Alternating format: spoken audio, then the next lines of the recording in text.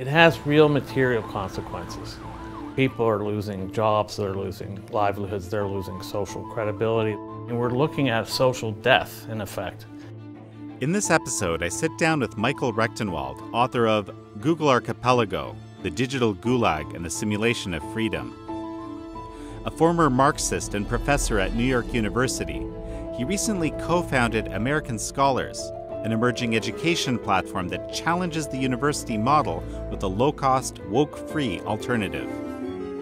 Beneath the thin veneer of egalitarian rhetoric, I saw nothing but totalitarianism. This is American Thought Leaders, and I'm Jan Jekielek.